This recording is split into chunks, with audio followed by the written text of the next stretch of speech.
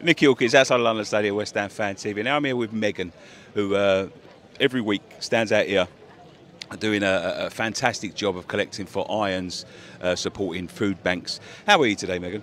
Doing really well, thank you. Yeah. Yeah? Yeah. How's, how's everything going?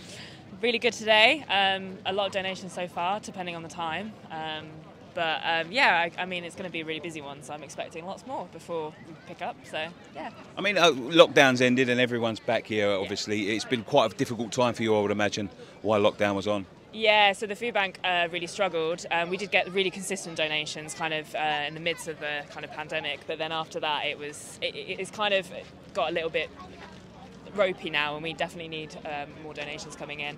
I think people forget that obviously the food banks suffer as well, so yeah, we're struggling a little bit, but we're, we're getting there. So what do we do? We, we, we want to help you, obviously, get these people towards here. Where are we now? We're, we're just opposite Westfield. You're walking up here, you're yep. collecting here. Are you collecting on every bridge or just this one? Just this one. Um, we'll always be here at every home game. Um, we're looking for cash. We're looking for you to donate via the QR codes. And obviously, if you can bring food, that would be amazing as well, because there's certain foods that we always need. Mm. And coming up to Christmas, I suppose you Absolutely. really need it. Yeah, any Christmas things, any Christmas goodies as well, in particular like chocolates and snacks and sweets, they're always good because we don't really get a lot of them.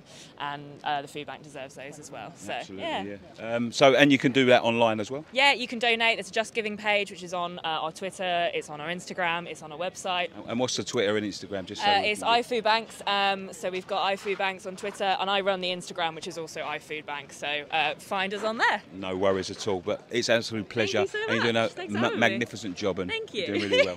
Thank you very much. Support the Irons supporting food banks. Uh, follow all their socials and make sure you get donating. Come on, you Irons.